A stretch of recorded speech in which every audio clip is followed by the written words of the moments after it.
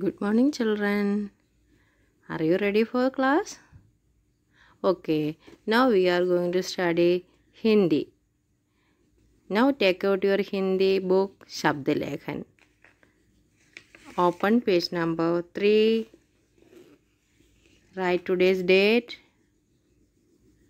मेरा घर बिंदु मिलाते हुए इन इन्हें घर तक पहुँचाए देखो picture look at the picture खरगोश उसका घर वो बिंदुओं को जोड़ के उसको घर दिखाइए।